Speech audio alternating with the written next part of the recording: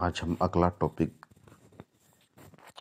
बात करेंगे food poisoning GNM first year का फंडामेंटल ऑफ़ नर्सिंग का अगला टॉपिक है फ़ूड पॉइजनिंग फ़ूड पॉइजनिंग क्या है?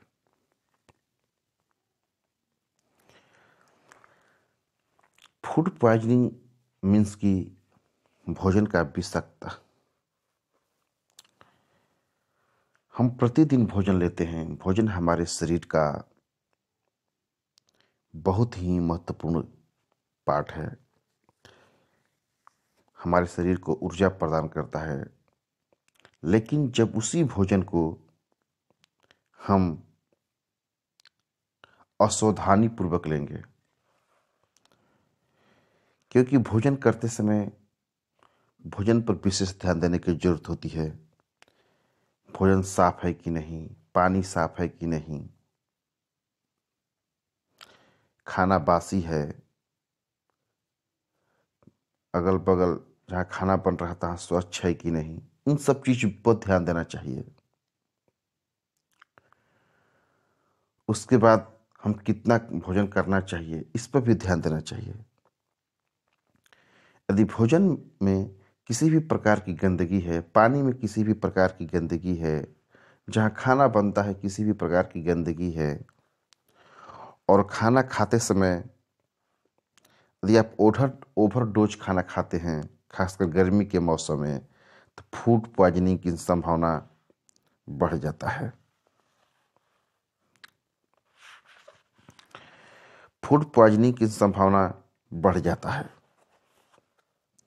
क्योंकि उस शरीर में जाकर विषाक्त रूप धारण कर लेता है, जिसके चलते शरीर में विभिन्न प्रकार के कष्ट होना स्टार्ट हो जाता है। विभिन्न प्रकार के लक्षण दिखाई देने लगता है। पेट में बहुत तेज दर्द होगा, उल्टी होगा वोमेटिंग वोमेटिंग होगा, दस्त होगा सिर दर्द करेगा, खाना पचेगा नहीं, गैस बनाएगा, आपको भूख नहीं लगने देगा। शरीर में कमज़ोरी महसूस होने लगेगा बार बार डायरिया की स्थिति आ जाएगी। अगर डायरिया की स्थिति आ गया तो शरीर में पानी की कमी हो जाएगा, बेहोशी की हालत हो जाएगी।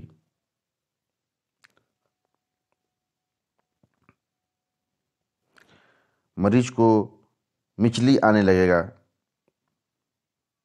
मतलब मरीज़ की ऐसी स्थिति हो जाएगी कि यदि उस पर तुरंत कंट्रोल नहीं किया गया, तुरंत उस पर ध्यान नहीं दिया गया तो मरीज़ का हालत बहुत ही खराब हो सकता है डेथ भी हो सकता है।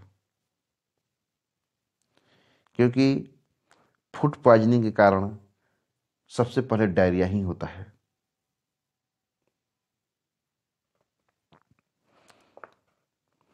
यही होता क्यों है? इसके फ़ूड पॉइजनिंग के पीछे सबसे बड़ी कारण है आपको बासी खाना। अक्सर लोग देखते हैं कि खाना खाते हैं तो एक दिन खाना, दो दिन खाना, तीन दिन का बासी खाना खाते हैं। उससे भी फ़ूड पॉइजनिंग का डर रहता है। दूसरा, अक्सर हम देखते हैं कि लोग बाहर जाते हैं, जो रोड साइड से किनारा जो फ़ूड लोग बेचता है उस पर ध्यान नहीं देते हैं कि वो सफ़ाई के साथ खाना रखा है, ढक के रखा है, कैसा पानी यूज़ कर रहा है। हम लोग उसका सेवन करने लगते हैं। उससे भी फ़ूड पॉइजनिंग होने का डर रहता है, क्योंकि वहाँ खाना साफ़ सुथरा नहीं रहता है।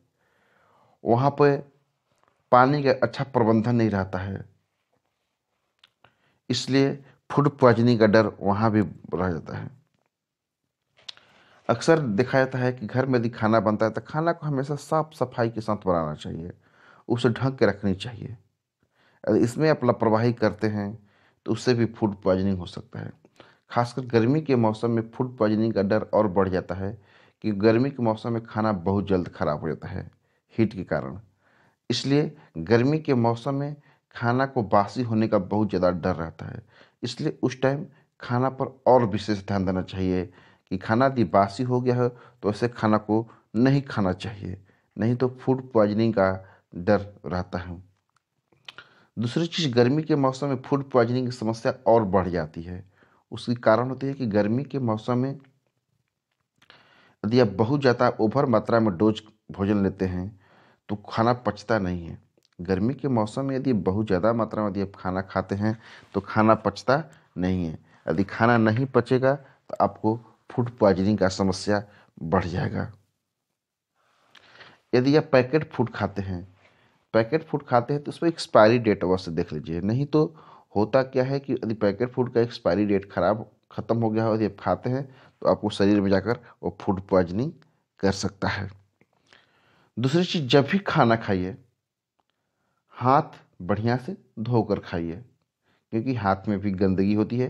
वो गंदगी यदि पेट में जाता है तो उससे भी फ़ूड पॉइजनिंग का समस्या बढ़ सकता है। खाना बनाते समय जो साग सब्ज़ी है, उसको अच्छे से धो लीजिए। अच्छे से धोने के बाद उसको अच्छे से पकाइए। यदि आप कच्चा खाइएगा तो उससे भी क्या होगा? फ़ूड पॉइजनिंग होने का संभावना बढ़ बढ़ जाएगा। खाना को तब तक पकाए।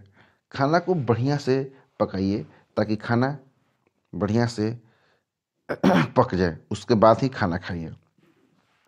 टॉयलेट आने के बाद अच्छे से हाथ को धोइए, क्योंकि गंदगी से भी हाथ के, नाखून की गंदगी से भी आपको फ़ूड पॉइजनिंग का समस्या रहता है, क्योंकि हाथ के गंदगी, नाखून की गंदगी यदि पेट में जाता है तो भी जाकर अंदर विषाक्त रूप धारण कर सकता है।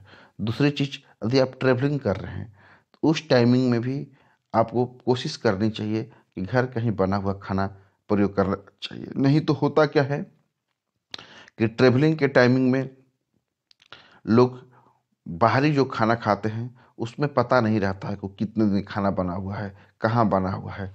उससे होता क्या है कि फ़ूड पॉइजनिंग का समस्या बढ़ जाता है।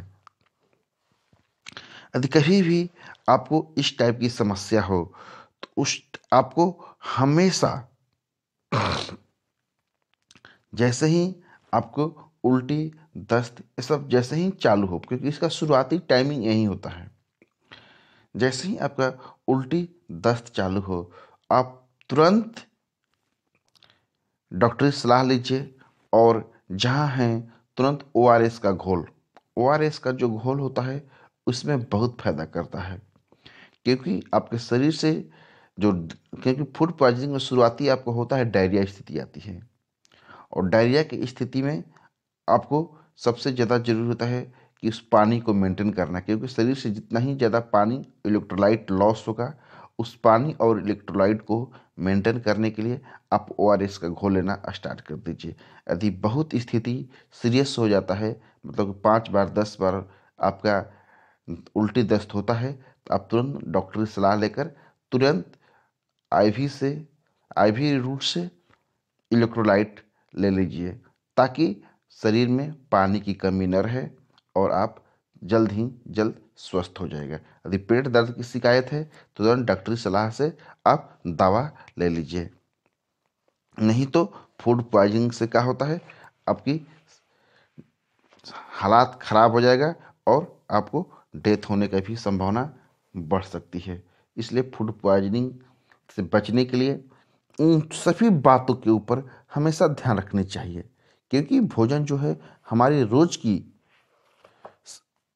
प्रतिदिन सेवन करना है और और हमारे शरीर के लिए एक बहुत ही ज़रूरी पार्ट है।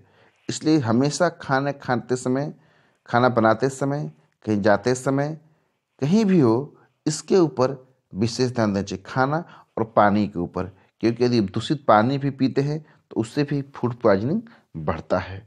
उससे भी डायरिया और दस्त होने का संभावना बढ़ता है। इसलिए इन सब चीज़ों को डायरिया से, फ़ूड पॉइजनिंग से बचना है। इन सब चीज़ों के ऊपर हमेशा ध्यान रखना चाहिए। Thank you. आज हम अगला टॉपिक